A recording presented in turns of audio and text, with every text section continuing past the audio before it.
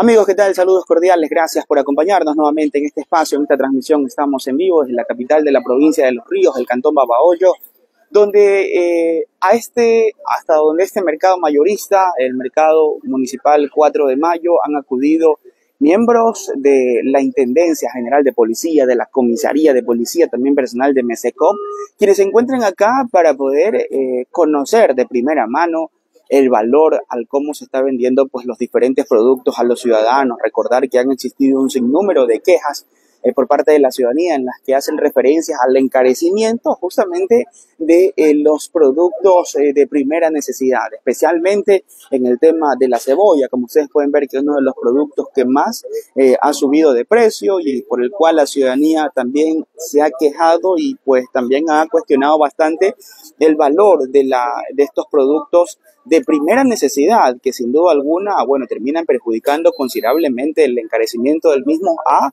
eh, la canasta básica y también a la economía de las personas. Entonces, frente a esta situación, eh, hasta este mercado mayorista, el 4 de mayo, ubicado en el cantón Babahoyo de la provincia de Los Ríos, han llegado eh, también acá miembros de diferentes instituciones para trabajar de manera conjunta y actuar acá en torno a pues este control que se está desarrollando acá.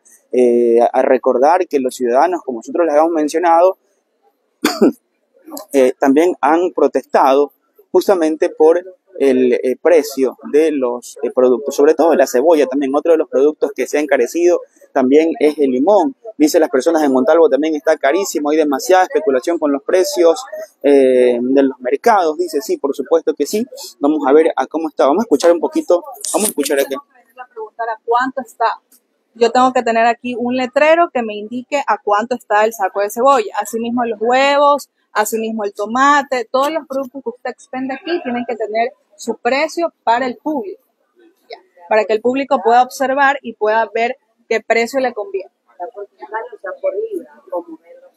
Bueno, ahí estaban las palabras de la intendente también socializando con los comerciantes. La importancia de poder tener exhibido los precios eh, acá para evitar pues algún tipo de situación, ¿no? De la especulación y también eh, lo que pueda pues también prestarse para eh, algún tipo de, bueno, algún tipo de, de, alteración en torno a los valores. Esa es la información. Y bueno, vamos, a, vamos en todo caso a estar atentos a la información, a lo que se genere acá. Vamos a preguntar rapidito a ver también cómo está bueno, y vamos a preguntar por acá cómo está también el tema de la cebolla, que es otro de los productos que más se ha encarecido, como le decíamos también el tema del limón y eh, también este bueno, vamos acá, vamos a ver si podemos rapidito platicar con algún comerciante, a ver, este, algo rapidísimo. Eh, estos son los otros limones que vienen porque dicen que el limón que viene de Perú, ese limón no hay, entonces parece que este limón, amigo, este limón es de aquí, ¿no? es nacional es de la sierra. El, peruano no hay en este momento, dicen. ¿Y, esto, ¿Y estas fundas a cómo están?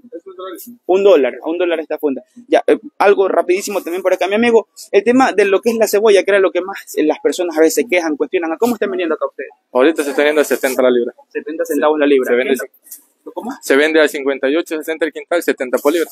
De acuerdo. ¿Qué es lo que le han mencionado acá las autoridades en todo caso? Que tenemos que poner lo que es lista de precios para que los clientes no vengan a preguntar, sino que viendo ven dónde está más conveniente. Bueno, las personas se quejan, dicen que vende la cebolla a un dólar, otros un dólar veinticinco. Dólar y medio saben decir. Más especulan es los que compran que los que venden, porque ellos dicen hasta dólar y medio me venden la libre de cebolla, pero no está de dólar y medio. Ni siquiera ha subido a dólar y medio. ¿Ustedes venden a? A 70 ahorita. A 70 centavos. De acuerdo. Bueno, van a colocar la lista en todo caso. Exacto. Ya se a poner más. De acuerdo, mi amigo. Muchas gracias. Bueno, muy bien, ahí estaba la explicación también por parte de las personas. Decíamos que el limón es otro de los eh, productos que también se ha encarecido eh, bastante, ¿no? Hay, y bueno, vamos a avanzar por acá. Vamos a avanzar por acá un poquito para ver también cuál es el procedimiento que se está cumpliendo acá en este momento a través de la autoridad competente.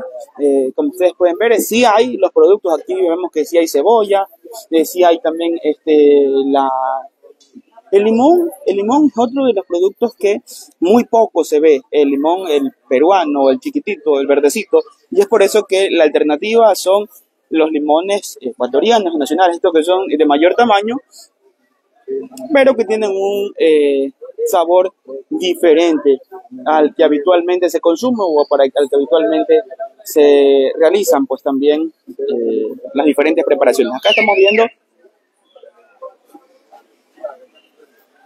acá estamos viendo en este momento como el como el personal de la comisaría, bueno, parece que está extendiendo algún tipo de notificación. Intendenta, eh, bueno, vamos a ver si podemos conversar rapidito. Lo que se está haciendo acá concretamente, por favor, el trabajo, ¿cuál es? Sí, nos estamos eh, verificando el tema de la exhibición de los precios de los productos de primera necesidad. Eh, así estén en un mercado, estos precios tienen que estar exhibidos al público. Vemos que no están los carteles con los valores de cada producto y por lo tanto se está haciendo una citación para hacerles un acta donde ellos se comprometan a exhibir estos precios. Si es que no los exhiben, pues lamentablemente van a ser objeto de sanciones de parte del municipio también. De acuerdo. Eh, estos controles se van a estar desarrollando de manera aleatoria en los diferentes mercados, no solo acá en Boyo, sino también a nivel del río. Por supuesto, estos controles eh, aún se van a incrementar mucho más, eh, sobre todo en los mercados, para constatar de que los productos se encuentran en buen estado, de que las balanzas pesen el, el peso justo y de que los precios pues no haya ningún incremento de especulación. Eh, una de las cosas que los ciudadanos más se quejan, bueno, es que vienen y preguntan, pero no ven un listado oficial a través del cual se puedan regir justamente. Y eso te tiene también para el tema de la especulación.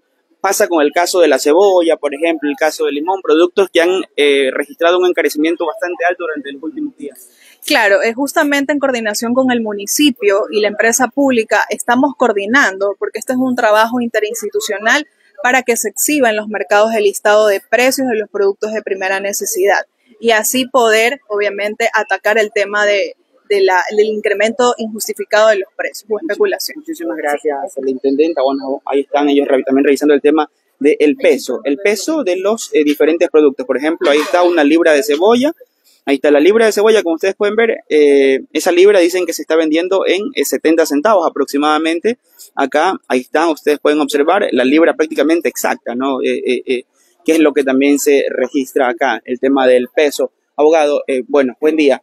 también ustedes como MESECOP, formando parte justamente de estos controles, el trabajo concreto ustedes acá, ¿cuál es? Bienvenido. ¿Cómo están? Muy buenos días por todos los que nos ven en este momento. La semana pasada pedimos una reunión con la comisaría de policía del Cantón Babahoyo, así mismo con justicia y vigilancia de la, municipalidad de Babahoyo, para poder hacer un cronograma eh, para todo el mes de septiembre, realizar operativos en todos los mercados de peso, precio y calidad. Porque es importante que la ciudadanía acuda a los mercados y cada vez que acuda a los mercados se sientan con la confianza de que le están vendiendo el precio justo, de que les están vendiendo eh, la cantidad justa de lo que ellos están comprando y así de esta manera podemos eh, hemos articulado con las demás instituciones para que la ciudadanía pueda venir a estos mercados, pueda venir a los mercados a comprar sin ningún tipo de problema, ni adulteración de romanas, ni, ni los precios muy excesivos.